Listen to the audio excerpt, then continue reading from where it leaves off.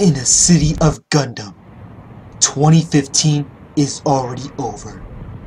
And now with the start with the new series, new action is coming your way. Nobody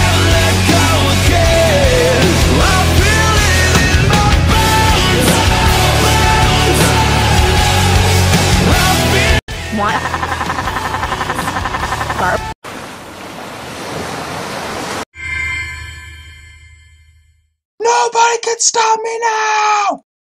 What's gonna happen in 2016? In 2016, my series will have the most views. My show will have the most views. Our series is gonna have the most views. I think Malibles, with me, Skylar, Inez, and Rocky are gonna have the most views on YouTube. Me and Carrie have our frame in the back, which means our show will be popular than ever.